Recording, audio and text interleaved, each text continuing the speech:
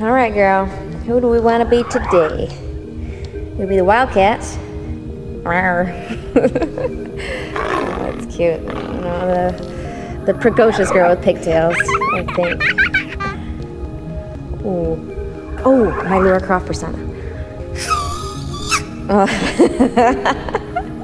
That's a good one. Uh, no, I just think I'm I'm gonna send my tall avatar self today.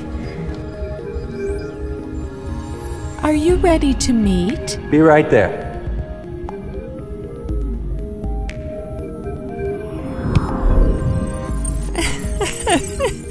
Is that the best you can do? You are so critical. Just a minute. That's not much better. Be with you two momentarily. What did you say you were doing in my truck that night we came here? Life used to be so simple, and all of a sudden it's so complex. Complexity. Now there's a topic. Yeah. How do you start with something so simple and end up with life being so complicated? Like you said, everything starts out simple. Jeeves, if you please. Whether you're talking about dog stars or dog stars, diamonds, or diamondbacks, all normal matter is made from electrons and two other tiny little guys called quarks.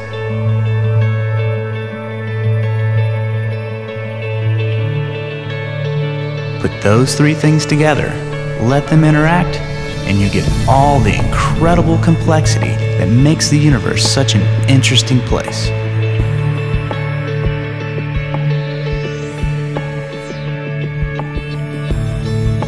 But how does that happen?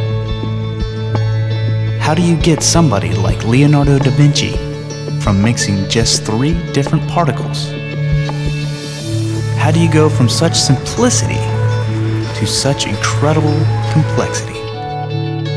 Let me take you on a journey, and together we just might figure it out.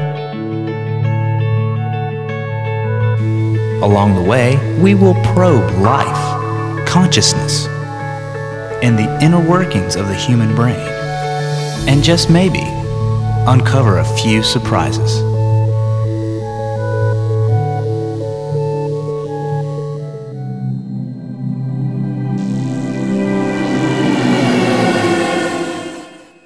We begin our journey in the world of the small. Basic particles are really, really tiny.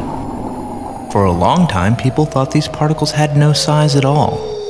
But then along came quantum mechanics, which proves it is impossible for anything real to have a size of zero.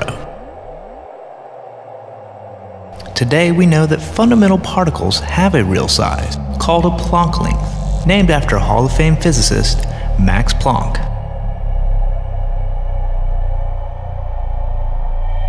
Now a Planck length is so small it's hard to imagine, much less to describe, but that won't keep us from trying.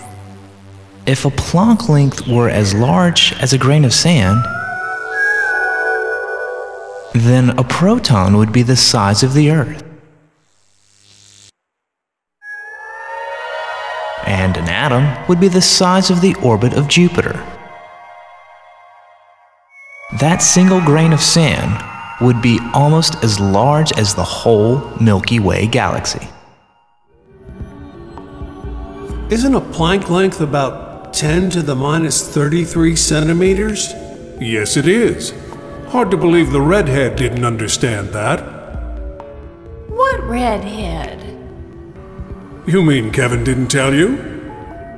Never mind. Play, play.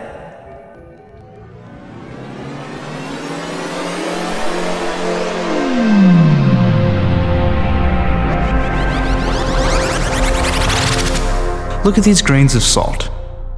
To the naked eye, they all look the same.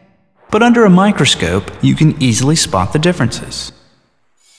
But every electron in the universe is absolutely identical to every other electron. If we could magically swap every electron in your body with some other electron, there would be no change. You would still be you. When you try to picture the behavior of things this small, you might resort to some really weird science.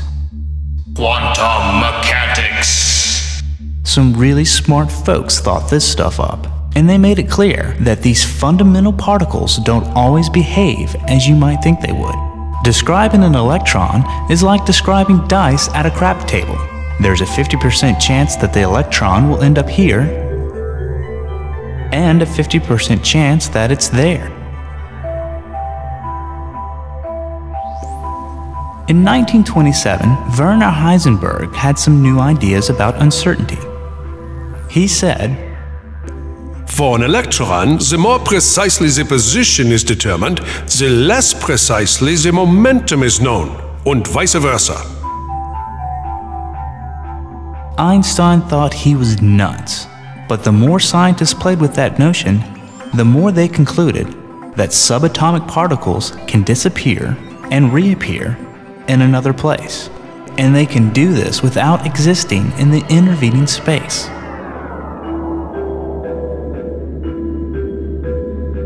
When an electron is trapped inside an atom, the places that this activity is limited to is the space around the nucleus, and this makes it look like a shell. Basic particles can also be in more than one place at a time, if the time is brief enough. An electron can travel from here to there along all possible paths simultaneously.